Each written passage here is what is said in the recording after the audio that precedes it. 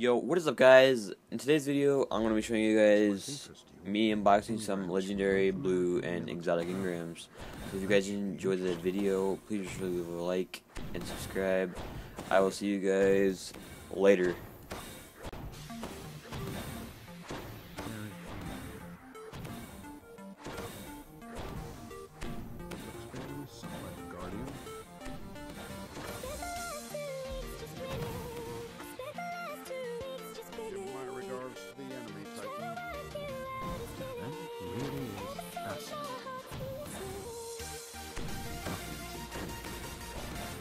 This is close.